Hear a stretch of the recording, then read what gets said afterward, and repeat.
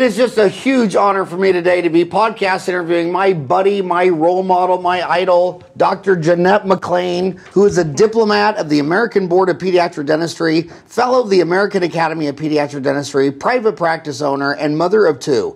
She received her dental degree with honors from the University of Southern California in 2003 and completed her specialty training in pediatric dentistry in 2005 at Sunrise Children's Hospital through the University of Nevada School of Medicine. Dr. MacLean has become an international recognized advocate and expert on silver diamine fluoride, appearing in newspapers, the New York Times, yeah, I can't believe I have someone in my house that was on the cover of the New York Times. Magazines, television, and continuing education lectures on this hot topic.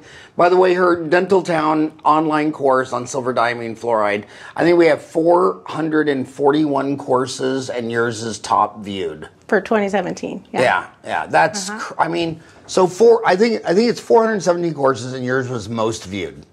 That's that's that's freaking impressive. Uh, most notably, she was featured in the July 2016 New York Times article, A Cavity Fighting Liquid Helps Kids Avoid Dentists and Drills. Uh, which brought national attention to the option of treating cavities non-invasively with silver diamine fluoride. You know, it's so. Um, thanks so much for coming here. Thanks and she's me. wearing a shirt. She brought me a girly bag, and uh, and uh, well, only a girl would bring you a, a, a, bag and a treat. Bag. But a shirt back in black. That is so damn cool. GV Black. Now, I don't think he even went to dental school, did he? That's a good question. I don't think so either. Yeah, I think they were all apprentices back then. I, I, really I'll do. have to study that. Yeah, um, uh, Google that, Ryan. Did GV Black go to dental school? Yeah, and if so, where? Yeah, I, well, he was from Illinois, wasn't he? I'm not sure. But um, anyway, um, you remind me more of Pierre Fauchard. You just look more Frenchy. I don't know what I don't know. I don't know what that means. It's you the stripes. It's the stripes. But yeah. Yeah, you need to wear a French hat. a so, beret. Yeah, absolutely. But um, I um, you know, I used to always tease because when you look at the nine specialties. I mean, if you got a hundred endodontists in the room, they, they don't mm-hmm. argue with each other. Um, it, but when it comes to occlusion, it's really like world religions. I mean, you have the Buddhists and the Hindus. Yeah. And my oh, oldest sister's a Catholic carries. nun. Yeah. I couldn't give her send her a book and turn her into a Lutheran. Mm-hmm. I mean, I don't even know if she thinks Lutherans go to heaven. I mean, you know, they're yeah. just they're just that fanatic in their camps. But I always say, if you got hundred pediatric dentists in the room or endodont, you know, they wouldn't disagree on anything. But gosh darn, pediatric dentists now they have an argument. S- yeah, silver say, diamine fluoride. People, yeah, we did, or not even on just SDF, but there's if you put a case or X-rays, you will have you know from ten dentists, ten opinions on how to best treat that. Well, you know, we we have research on that because uh, you're so young. I don't know. You remember the Reader's Digest story? I remember Reader's Digest. but but they had a guy, and he took study models and FMX to 30 different dentists and he got 30 different treatment plans mm-hmm. and they ran that was the feature story on reader's digest and all the dentists were all mad and i said well don't shoot the messenger reader's digest is not fake news my mom dad and grandmas and grandpas all have it on their end yeah. table and it's true you know sometimes truth is an inconvenient fact so then the nhs said is it true? We don't, oh, I don't, we don't know. So they said, we're going to expand it to 100. So they went and redid the study went to 100 different dentists, 98 different treatment plans. The, two of them were the same. Those were the two guys who said do nothing. So two people said do nothing, mm-hmm. and then number three to 100 had a different treatment plan. And that's when you have to realize that dentistry isn't math. Right. It's an art and a it, science. Exactly. And it's got huge opinions. That, that's the truth. And I don't know that that's necessarily a bad thing because really? you know, I mean, there's not like one gospel way to treat things. That you ha- to me, I like giving parents or patients options, meaning that there's not one. It's not what I want to do. I can tell you the options, and then you have to decide what's. But I, I want to start. I want to. This is dentistry uncensored, so I want to start below the belt. The mm-hmm. biggest punch I can give you, and that is you and I practice in Arizona, and we both know that down in Yuma um, twice a baby has died. And the news to me is very unfair because they don't ever portray it like, well, why does your two year old baby need put to sleep Right. and need a half dozen root canals? Right. Is that parent abuse? Um, are you kissing that baby with rotted mouth? Is a babysitter your grandmother that has gum disease and five Right. cavities? But the dentist Bring up many but- but- interesting but, But it wasn't. but it wasn't a um, a sham. I mean, it was a board certified pediatric dentist, correct? At the Cool Smiles, I, they're general dentists. Oh, and the Yuma was a general dentist. To the best of my knowledge, I, Okay. you know, it's But- general dentistry. But, but so I, I want to start with this. Um, I have four grandchildren. Mm-hmm.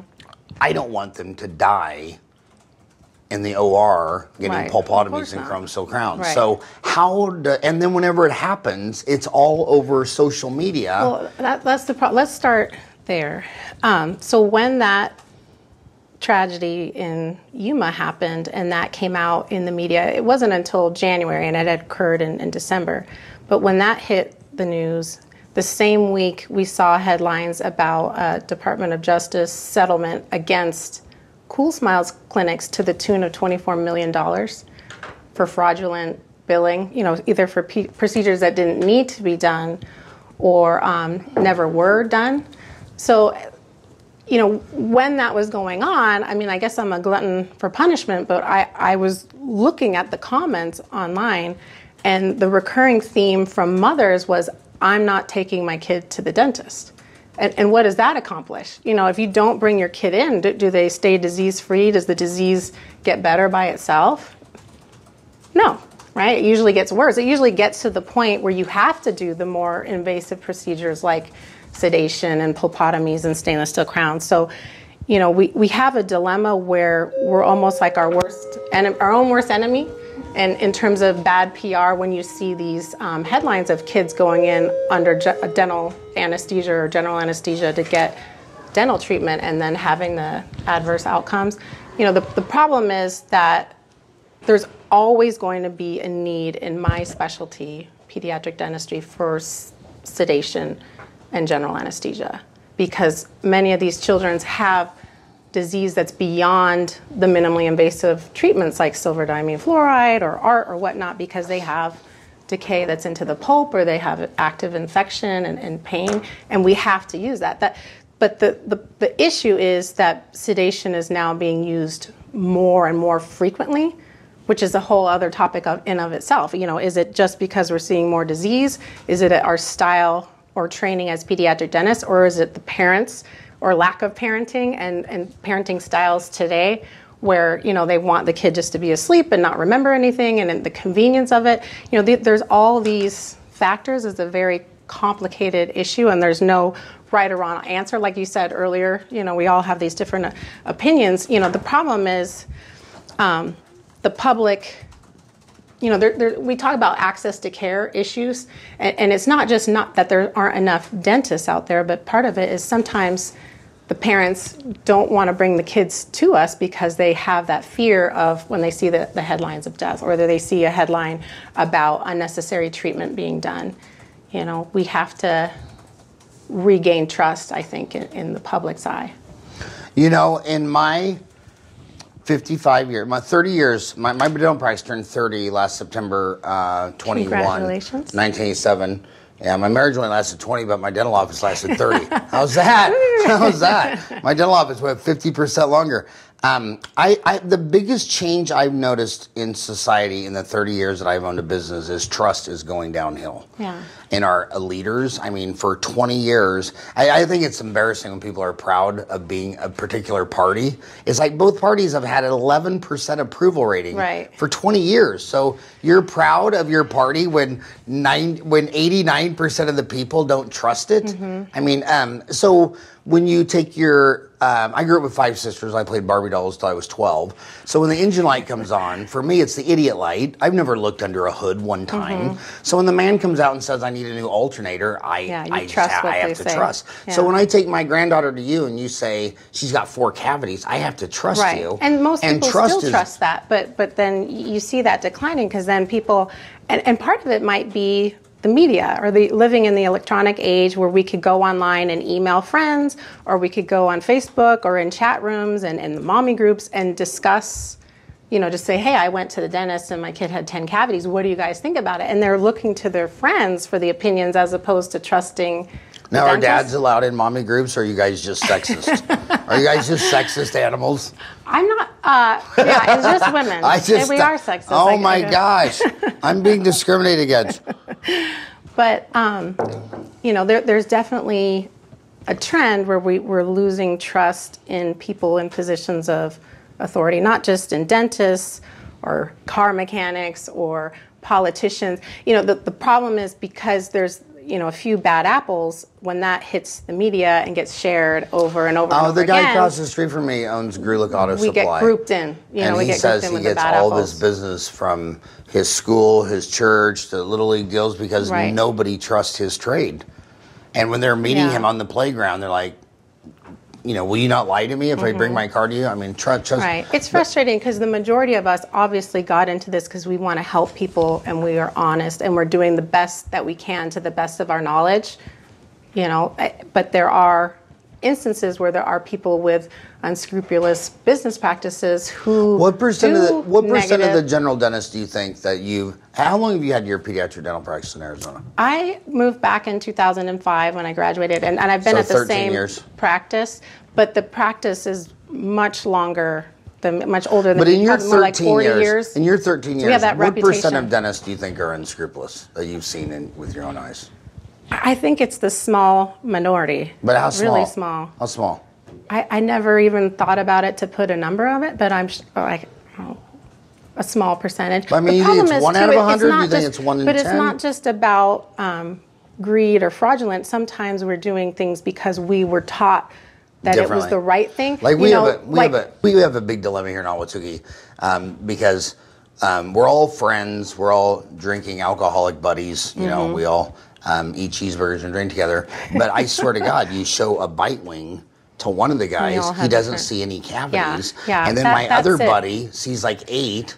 And then I see like four. Right. And Well, I- I it's, think and of myself three as- Mm-hmm. good guys that disagree. Right. Yeah. So I think of myself as very conservative, but the way I was trained, I now like to refer to it as Medicaid mentality, where we were trained that we were somehow doing the kids a favor by aggressively treatment planning them. So any white spot lesion, um, they're getting a filling. If, Because they I- might not ever be back. that was the mentality Yeah. or, or like any interproximal lesion was automatic stainless steel crown but then when i got into private practice where it wasn't a majority medicaid population and it was mostly you were in cash pay uh, it was mostly cash pay or, or private insurance um, that did not fly when when they were footing the bill you know and you say oh well that's a class two let's do a stainless steel crown they're like whoa whoa whoa whoa whoa you know because they they're, they're all they're seeing are dollar signs and and there was this demand to try to be more conservative and i would do a filling instead of a crown and then to my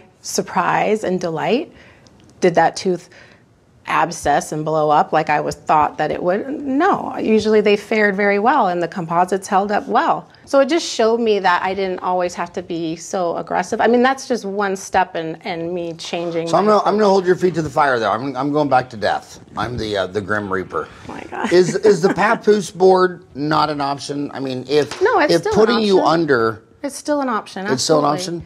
Yeah, it's a very controversial thing, but you know, if for me, I, I do have papoose boards in my practice, and we use them when we're doing oral conscious sedation because I don't want the kid and what is rolling on oral the conscious floor. sedation? That's when you drink. Right, right. But, mean, but what is what is your medication? what is your um, cocktail? Most often, I use Versed.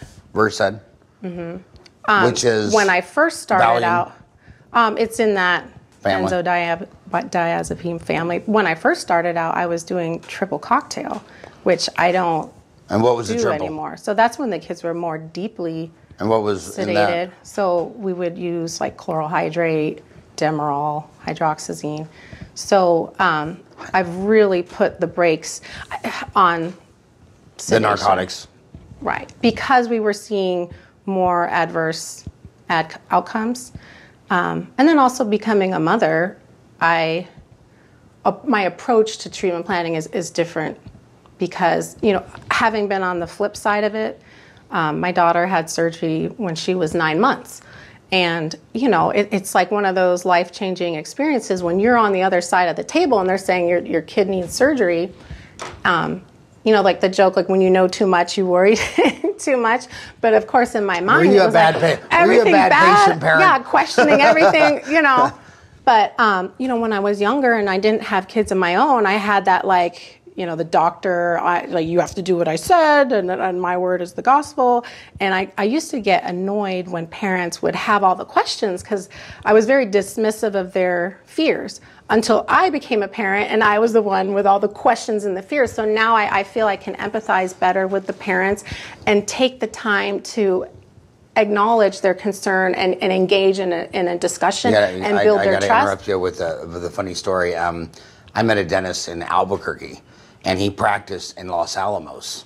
It's all nuclear scientists, and they're all on the edge of the, the scientific universe. Yeah. And he quit because every freaking scientist would come in with like 30 questions Yeah. for a filling. Right. Like- and, they, and he couldn't even answer half the questions about these resin Right. monomers. And he finally said, I, I I can't get do an hour scientific lecture for every stupid filling. Yeah, I, I and so it. left. It- It's frustrating because you know, like another joke is our we dread the moms and dads that are nurses or engineers. Yeah. Because they always have all the questions, um, like the more high maintenance. But having been on the flip side of that, now you know I I find that if I take the time to discuss with them, I build their trust, and they become the most loyal best advocates of our practice. Like we really don't spend anything on advertising. It's all word of mouth from existing patients or pediatricians or people in the community.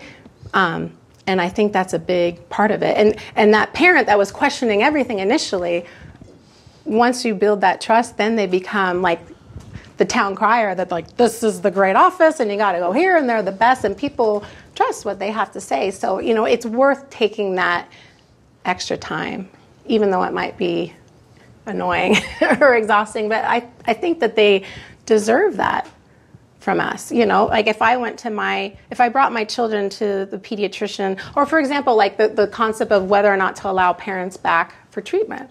When I first started out, I was trained not to let the parents back, but now I let the parents back because I'm a parent. And there's no way I would go to the pediatrician and just like send my kid back, like, bye. You know, I want to be there and, and learn and hear and ask, ask questions. Like, I can't, it just seemed kind of like crazy to me. like, why wouldn't we want the parents there to see what we're doing? Especially because there's um, lack of trust now or questionable. Yeah, even us. even the, the us. even the Catholic Church, 1.0 miles from my house, right around Mm-hmm. the corner, huge lawsuits, and the whole the whole Catholic community in Ahwatukee was shaken. Yeah. Um, um, Penn State coaches. I mean, Yeah. God, when you when you read the media, your kid's dying at the pediatric dentist. The priests are crazy. The Right. coaches that's at Penn their State are news feed. So Yeah. of course they're afraid. So you know, I, can build their trust, and then eventually we get to the point where often they're like, "Go ahead, I'm going to sit out here on my smartphone, and you go do your appointment." Like eventually we do get to that point once we've established the trust.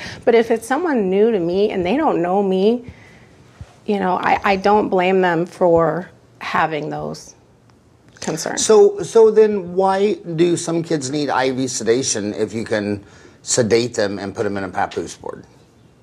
Why do they need IV sedation? Yeah. It, it- well, it depends on a lot of factors. Yeah. Oral conscious sedation doesn't work on everyone. Like one in five kids will have what we call a paradoxical reaction, where they're actually worse when you sedate them, especially with Versed.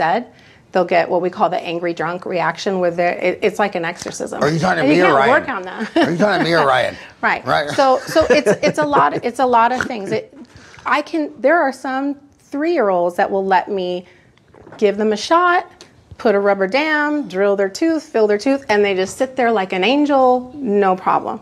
Then you'll get a 10-year-old who's like they look at you walking in the door and they're screaming and crying and freaking out. You know, so it, it depends on the behavior and that child's coping skills which you know in our era of the snowflake children a lot of kids today don't have good coping skills Yeah. right that's why they're going off to college and they can't like they can't cope but anyway that's another story That is a cra- um, that is really crazy. I mean, like like when when you, you're supposed to feel guilty if you didn't help your kids do homework. Could you imagine going up to my dad and saying, "Dad, will you help me with your homework?" I bet if I handed him the book, he would have taken the book, hit me over the head with it, and thrown it on the Right. floor. I mean, Right. It goes back to My, what my I dad went earlier. to one wrestling match. I was a varsity wrestler for four years. He went to one match. And now, if a child misses a match, you know, it's like, Right. If you're not there Yeah. every single one, you're a bad parent. Yeah. It, the parenting styles have changed dramatically, and that's a huge reason why we're often forced to do more sedation is because parents have the expectation that their child shouldn't cry for anything. You know, there's some kids who don't even, or some parents who don't even want us to do a cleaning on the kid because they're crying, or they won't brush their kids' teeth at home because they cry. I'm like, who is the parent? My kids used to cry because they had a poopy diaper and they didn't want their diaper changed, or they used to cry when I tried to put them in the car seat. Am I gonna like leave them sitting in poop and not put them in a car Yeah. seat? Like it's just like, duh. Yeah. like I don't get, but um, yeah, where- it- where did it's we almost like we're dumbing down the from? society. Yes. I mean, we, we, we Yeah. really are. I mean, um, I, I think, and uh, I've seen some really well done scientific studies that, you know, um, back then everyone was working. Mm-hmm. And they were working a lot just to pay the bills and eat and survive, and they were happier. Yeah. But now that they're working less and they have more free time, they're playing with their navel and getting unhappy. you know what I mean? or looking at their news feed Yeah. and seeing everyone having their like highlight reel of everything is fabulous, and then there, there's a lot of depression. So I'm, I'm gonna, I'm gonna, so, so, um, so I've never heard of anybody say the angry, the, angry, man. drunk oh yeah, reaction. so we, we were talking about what would lead to needing IV sedation. So you know, some kids you can work on them with just behavior management, tell, show, do. Some kids are, are fine with nitrous oxide. Then you have kids who need a little more, like they might be afraid to put the nitrous hood on them. Um, so that you could give them oral sedatives and they might do very well. But there are those that their behavior almost gets worse when you do the oral sedation. so which one of those And- patients do you think Ryan is? He seems like nice and, and, and pleasant. So usually those are the happy drunks. But the kids who like start out like they won't look at you and they're like those often become worse. Although once in a while the Hellion kids become an angel and the parents are like, Can I get a bottle of this for at home or for a car ride? Um, but the thing is, you have less of a working window with the oral conscious sedation, and there's some children who come to us with a full mouth, you know, 20 rotted abscess baby teeth, and you, we really have no other option. Well, I it's wanna- like I- it's I wanna- better to do yeah, the general I- I wanna- anesthetic. and get all done with. I, want to go back to that because um, to me, it's you know, it, it's hard to say anything came good out of AIDS, but I, I, I lived through the AIDS. I mean, it was in, it was in '79. I graduated from high school in '80. Please don't tell me you weren't born then. Were I you was born, in? in 76. All right, you made my day. so it was in '79, um, and and it was just, like Reagan never I, mentioned. rem- I, I very, very much remember watching all that in the media as a child. Yeah, like Reagan never mentioned HIV or AIDS Yeah. Mm-hmm. or gay or homosexuality his entire presidency, and it was just and the story was just slowly dribbling out. It Yeah. started off as gay cancer, all this stuff, but the but the one positive thing of the whole HIV thing is the entire planet got religion on STDs. Mm-hmm. The the only one who fought it really was South Africa, which now has a 25% HIV positive rate. Uh, Ryan and I have lectured there, and when you go to every dental office, the dentist's like, well, who cares about their decay? They're all HIV positive. So it's all eight. You go to dental offices, and the whole dental office is HIV, all this stuff like that, because their president. Um, thought it was a, a lie, thought it was a conspiracy, uh, and didn't let the uh, World Health Organization come in. But all the other countries in Africa, Asia, Latin America, they, they all got religion. And I feel like that process hasn't even started yet with the other end of the body. I mean, everybody Right. knows that you can get gonorrhea, syphilis, chlamydia, you know, mm-hmm. down below the belt, but they don't realize when this newborn baby is born, you hand it to grandma. And she's got an upper denture, lower parcel, six millimeter pockets, hadn't been to dentist in five years, and she kisses the baby on the mouth.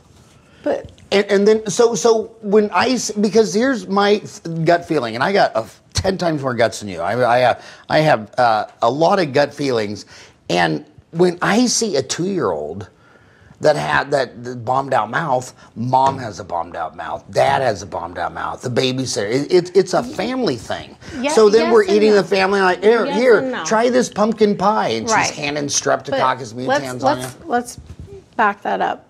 Um, the new hot research is in the human oral microbiome, and that I, I can give you some articles that I, I'd love for you to read about that. And, and the point that that makes is our body has more bacterial cells than human cells. So we're never going to be bacteria free. And in our mouths, we're always going to have bacteria. And, and even when a, a baby is born, they take on the the, the microbiome of, of their mother. So yeah, I mean, it, you're going to get that transfer. But the thing is, even healthy enamel will have bacteria that can cause caries on it. Now, when you have like um, a child with more decay, yes, you're going to see higher levels of the more cariogenic bacteria, but that shift more often is happening because of their behaviors, meaning frequent consumption of carbohydrate or frequent consumption of a acidic or sugary beverage. So, you know, if they're sipping apple So you juice, think it's more dietary than microbiome? it's both. It's both. It's bacteria and fermentable carbohydrates. So, you know, if a Now, I'm Irish. Did you know that vodka is not sugar? Did you know that? Beer and Great. wine are Hey, fermentable we'll, we'll carbohydrates. recommend bottles of vodka. But vodka It should is help the not. baby sleep that's true. too. Didn't someone? Didn't a dentist on the show tell me that? Right. That was, it was a dentist on the show told me that. That Right. beer and wine. But, But if your mouth is in this constant acidic state because you're constantly eating and, and drinking these things, your bacteria, your biofilm shifts to the more cariogenic bacteria and they thrive. Like the more acidogenic and more acidic bacteria is having a, a party. And your teeth are going to rot. It's not because I have soft teeth, which I love to say, right? You know, like it's genetic. No, it's more your behaviors. I mean, there, th- yes, you can have congenital enamel defects like hypoplasia, amelogenesis but, but the lion, but, it, like but the lion's you share do to those teeth. So, so you think is- when a two-year-old comes in and needs eight pulpotomies and chrome Mm-hmm. crowns, that the diet is just the main cause? more often than not, yes, because there's no brushing, they're not getting fluoride, they're snacking. Like our kids today, it's like they're graze all day long. I mean, no wonder there's so much childhood obesity and type 2 diabetes because these kids, like, go to the mall and what do you see?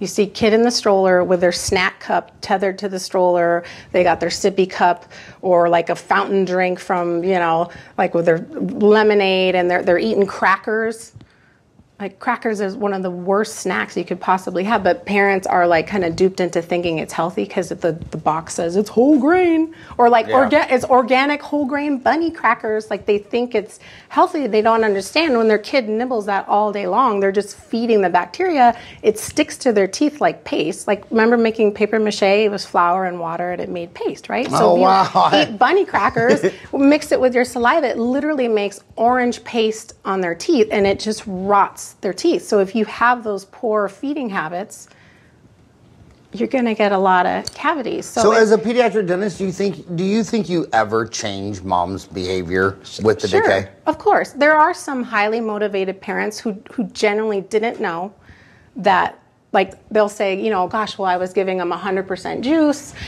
or I give them only organic this and that like they truly believe they were doing the right thing or, or they were exclusively breastfeeding or breastfeeding all night long because it, you know La Leche League told them that breast milk can't give you cavities well once you introduce carbohydrates it's almost more cariogenic especially if you're co-sleeping and letting the kid nurse all night, night long Yeah, I mean that have is the to- most I have to interrupt you on that because, um, you know, the, in economics, the law of unintended consequences. You do something good, and it can be bad. So I think it's really cool that now, when my daughter-in-laws are giving birth to baby, a lady comes in to go over breastfeeding. I mean, Mm-hmm. Yeah. I mean, obviously, I don't think they needed lessons the last two million years, but someone's going to come in now we do. and and give you a deal. But a lot of those girls that come in and Mm-hmm. do that, they look into the baby's tongue and they say, "Oh, he's tongue tied. He needs to have a laser frenectomy." Yeah. And that's another big debate. Right. Uh, and in fact, I even I had you a emailed patient me about it too. I and I told you you, about it, so- sometimes they legitimately need it and benefit from it. But if, if you think that we humans have existed two million for, years, you know, for, 108 billion like humans. how did we ever survive in a years. world where we didn't have pediatric dentists or dentists with lasers? You, you know what I mean? Like you can overcome some of the things. but is it a? But are you doing a lot of that in your practice? Do you see a lot I of? don't, but if I see someone with a, a legit tongue or lip tie, I will refer to a colleague that, that does it. But I would And definitely who's that? say like an oral surgeon or a perio? Or There's a, I have a pediatrician in North That has a laser. That well, well, he actually uses um, scissor or scalpel, and then So you just don't wanna do it? pediatric. Well, I don't find that the, like I think seventy five percent, especially of the the maxillary uh, tie, like most of that will um, self correct as the alveolar bone grows. But if they have a true lip tie or true tongue tie, then sure, I'll, I'll recommend to have it done. But I think that there are you do it more being done than really need to Yeah, be done more. because it's another billable. So I want to back up on another deal. I got so many. I'm coming at you from so many angles. So um, very interesting. ASU is a big anthropology hotspot. I mean, we have Lucy, the Mm-hmm. 1.6 million year old complete hominid, 36 inch tall, 17 year old girl. But anyway, the anthropologists, independent of dentistry, have really been posting a lot of studies amongst themselves saying, why is there no malocclusions over the last two million years? And then 150 years ago, they just explode. And then their own non dental mind are saying, well, probably because um, they were nursing for a couple of years. And now, if a baby has trouble nursing, you give it some sippy cup with a, Yeah. a gorilla size or a, a, a whale size Right. nipple on it. And then, with, back in the last two million years, your mom probably threw you a mastodon bone and you were chewing on it. Now she's feeding you puree applesauce. Goo in a pouch. Yeah.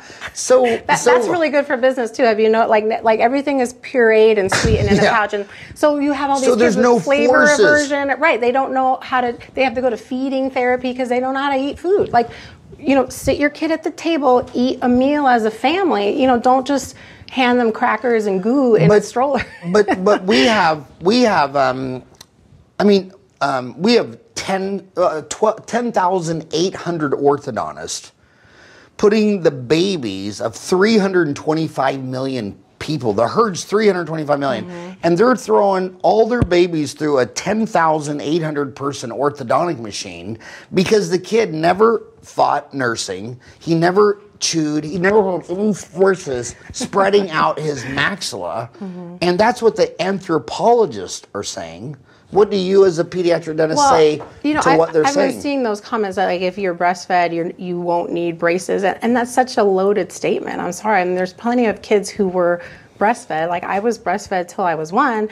I had my mouth was a hot mess. I had two oral surgeries, a pacted canine, braces, and still my teeth aren't perfect. So you know, it's not just the breastfeeding. Like Right, right. it's not It's like. It's a wonderful thing to do. It's, I it's a breastfed both of my kids, but, but, it, but it does beg the question when, when you so they say uh, um, we're two million years old as a species, 108 million have come and died, and there's seven and a half million alive today, and of that first 108 million, there's almost no malocclusions.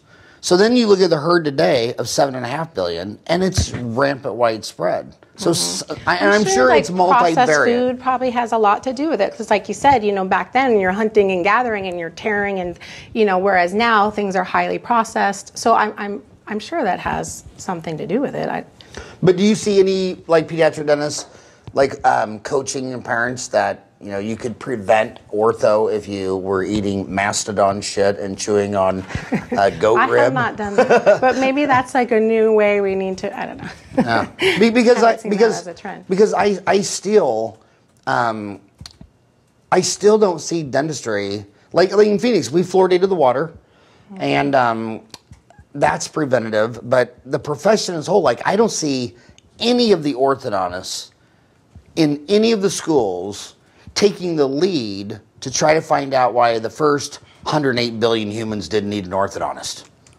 I don't see any of the practices talking about. I, I don't. I don't. It, it's like it's, like an interesting question. it, it's, it I mean, reminds me of HIV in 1979. It just doesn't exist. And I mean, they, they talk about prevention and fluoridated cavities, but they don't talk about Mm-hmm. prevention. And the media, whenever a child dies in office, of course, a lot of stuff went wrong. Right, it's like but the- they, the but the dentist. media never Yeah. ever singularly will ask, "Well, Jeanette, why did your child Right. need eight root canals at age two? And that- what a what right. a what a dad! What a mom and dad! That and that's that's my frustration too. Is like we're trying to fix the problems. We didn't put the cavities there. You know, then we become the doormat. Like it's all our fault when we're you know we're just trying to help, and it, it, it's frustrating. It reminds when- me. It, your job reminds me. Of, I was talking to a friend of mine, and um, his son was there, and his son was all upset. because his how what grade are you in in ten? Is that fourth grade? When you're 10 years old? Yeah. Yeah. Oh. They wanted to hold his son back because he can't read. And he's all mad at the school and he's all mad and all this stuff like that. And I'm just looking at him and say, buddy, buddy, the te- that's not the teacher's baby. Mm-hmm. That's freaking your baby. So you're telling me you have a 10 year old baby that can't read? How about you're a really shitty parent? Right. Well, that's the thing. It's like we have to take ownership of the problem, and and a problem with many parents is they don't want to take ownership of the fact that the cavities are in many ways their own fault for lack of hygiene and poor feeding. You know, they want to blame it on something else, soft teeth. You know, oh, it's the dad has bad teeth. Like they just Yeah, want so- they want the excuse. Right. And and that is a delicate discussion because again i want to empathize with the parents and, and they don't like when you're like you know you're a crappy parent here's your $5000 treatment plan for general you, you know we need there's a there's a way to sort of kindly open that discussion of you know okay you're here now to fix this problem and i want to help you do that.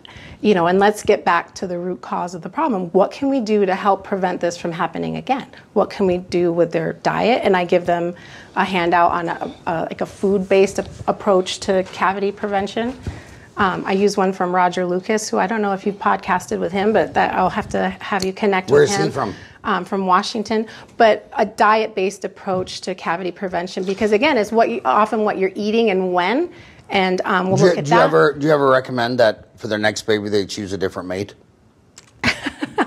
No, Um, I don't. but we're, we're talking about colleagues. I got to ask you one, one thing for before I forget it. Um, you have another friend. We both have a common, Joel Berg, yeah, who was a pediatric dentist, Mm-hmm. uh, Seattle. yes. Uh, there's a big that made newspapers. What, what what was that all about, or do you not want to talk about that? Um, I honestly don't know enough about it. I know that he is moving here, um, He's moved to Phoenix. But No I way. know that When's he moving to Phoenix? I think he's already here. I, it, it's a recent thing, but um, Do you have his contact information? yeah. Do you have his call can give it phone? Yeah. Oh my God, you're call. I'll Let's hook you up. let's call him right now on the podcast. Is he gonna Is he gonna practice? I think he does more on like the business end now and and practices uh, or Because he's a board certified pediatric dentist, right? Yeah. So I mean, having you know not I am gone too? to University of, or you're a board certified pediatric dentist. I am. I bought it on eBay. to me. Yeah, And a black belt in karate and an Eagle Scout. It was all for nine ninety nine. That's you. You paid too much. Gosh, I did not know Joel Berg moved here. Yeah. So I, I don't know. I know that there so were he's a financial business issues with- consultant. With, the, um, yeah, the, the budget. It with was, the program. but I wasn't talking about the budget in the school. I was talking about the silver diamine fluoride Mm-hmm. Oh. research. Well, he he wasn't really involved with that. Are you thinking of Jeremy Horst at UCSF? Because he No, I thought it was. I thought it was University of Seattle did a big silver diamine fluoride. San Francisco had a big paper on it.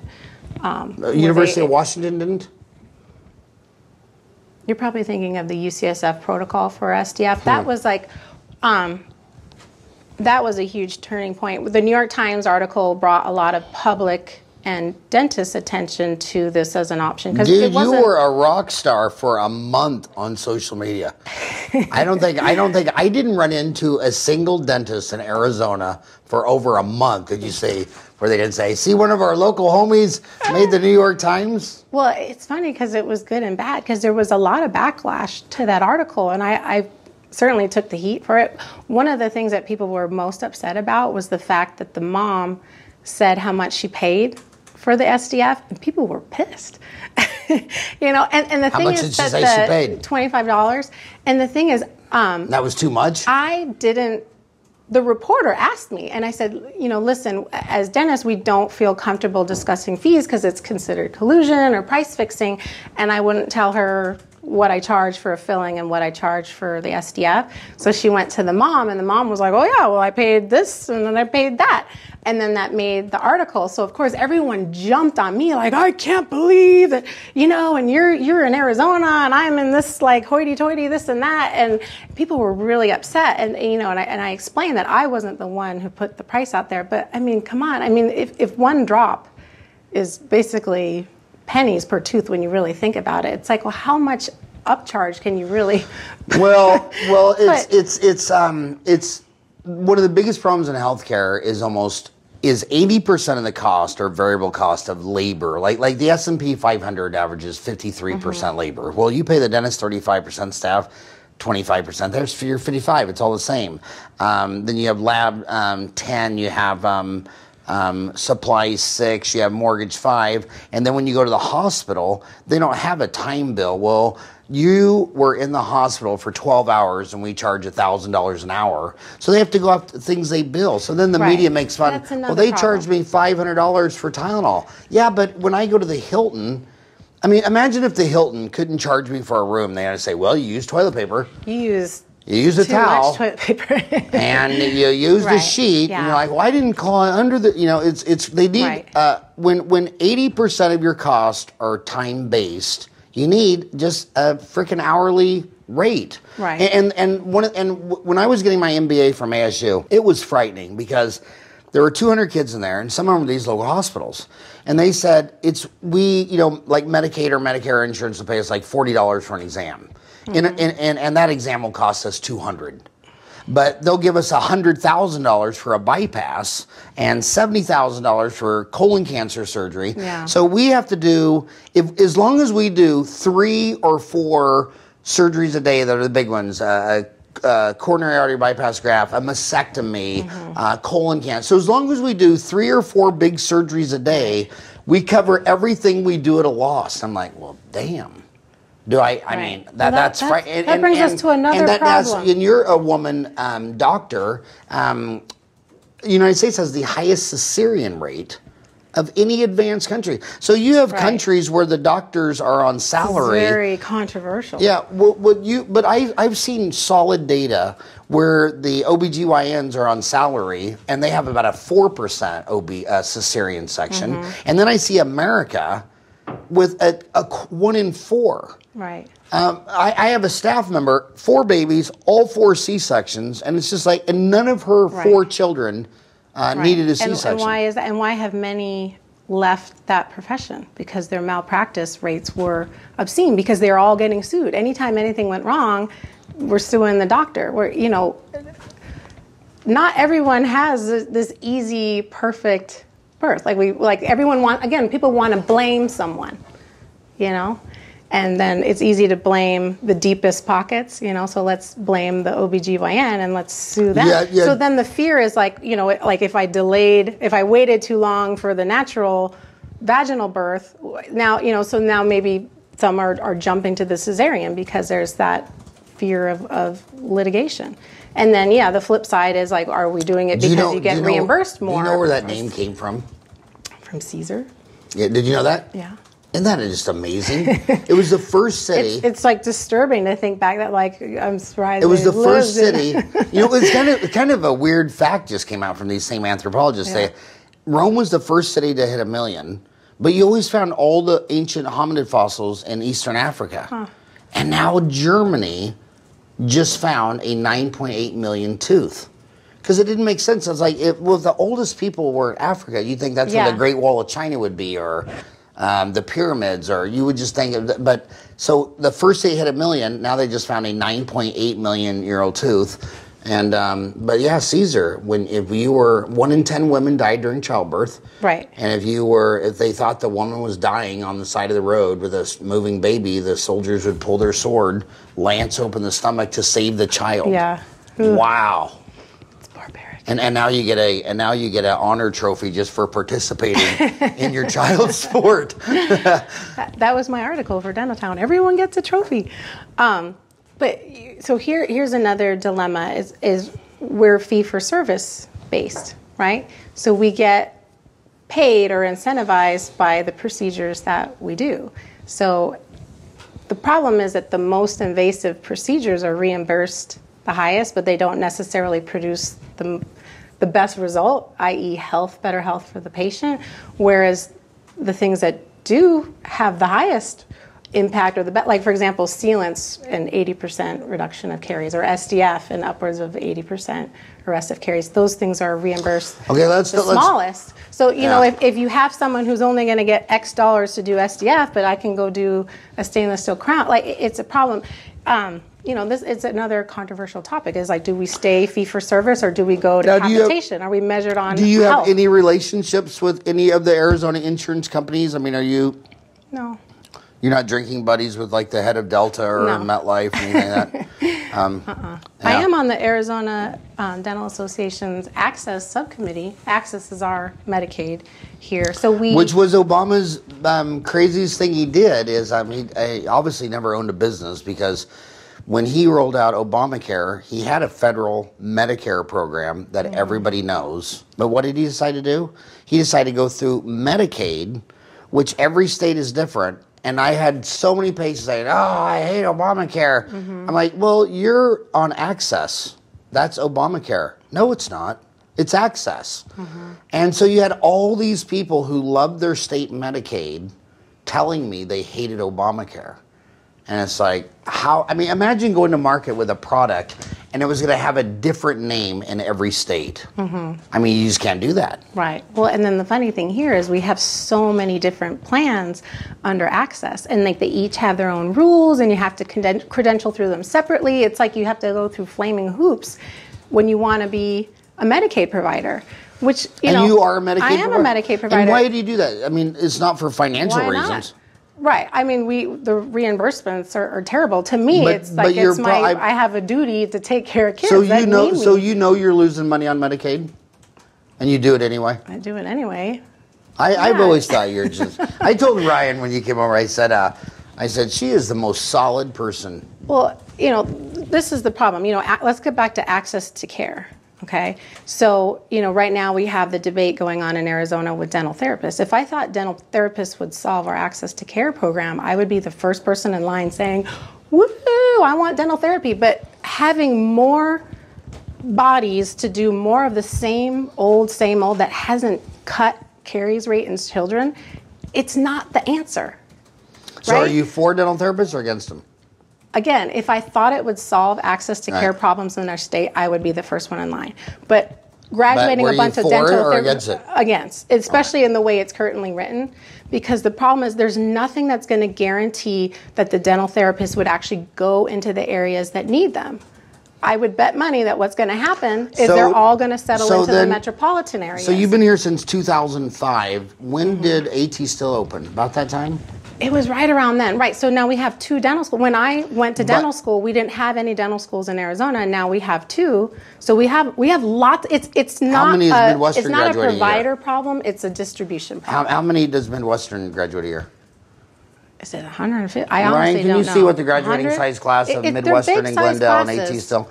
But but the, the, the, the you know I've, I've been watching this problem. It's a distribution problem for 30 years. Like Yeah. there would be a dentist in um, say um, a small town in Kansas. You know, half the way from Wichita to Denver, Yeah. in the middle of nowhere.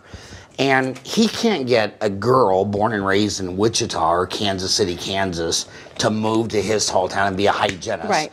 So then he goes to the local high school, Mm-hmm. and he knows he's got to get a girl born in this town of 5,000 who's, and then he'll say, okay, write me an essay on why you want to be a hygienist. You might win a scholarship. So two girls wrote an essay, and he's like, dude, I need two hygienists. So he he said, I'm, I'm writing the check for you to go to high school.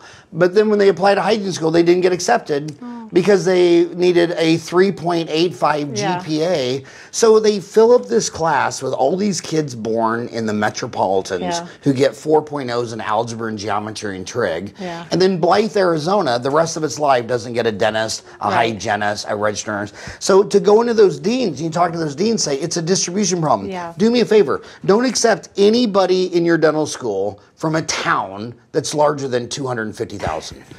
and then and then what do they say? Well, you know, the US News and World Report, you know, they they say what our average DAT score is and we want to have we want to have our well are you serving US News and World Report? Are you serving the taxpayer base of Arizona? And I mean, I think if every met, and then you look at the largest, fastest growing economies in Arizona, um, there's mines out in the middle of nowhere, and you talk to these mine owners, and they say, "I need, I need right now today, ten mechanical engineers." But guess where they all are? In Tempe and Scottsdale. Yeah. And then I say, "Well, can you live out here?" And they're like, "What are you out of your mind?" But the kids born in that town. Um, they love the fact that their kid can go ride a motorcycle and shoot a 22 rifle, and and you, I mean you, you can carry a 22 rifle into the gasoline station when you're 10. Uh, they they but those people were born in that lifestyle, and this the schools. The government, the hygiene schools, they're so worried about that you got an A in geometry, and I've never used geometry, calculus, or trig in 30 years of dentistry. And I bet I spent a thousand hours in the library memorizing that useless crap. Okay, so we, we agree Okay, it's wait. a distribution problem. Okay, so um, the um, let's talk about what the other, pro- it's not just, just real quick. distribution. Midwestern class size is 141. I was close. And the average GPA was 3.47. AT Still uh, class size is 76. And they accept 2.3%. So, um, Ryan, okay, so so when people say, well, why the dental schools raise their price 10000 a year? Well, AT Still, I mean, it's 100 grand, $100,000 a year, and they only accepted 2.3% of their applicants. yeah. And then that dentist says, well, why are they raising the price? Go, dude, if you could double the price of your crown to Delta Dental, you would do it. So don't don't be mad at the schools. But um, so so they're graduate. So what is that combined? Um, 141. Sorry, I'm And blind. 70, did you say 74? And 76. So what's six plus one? 217, 217.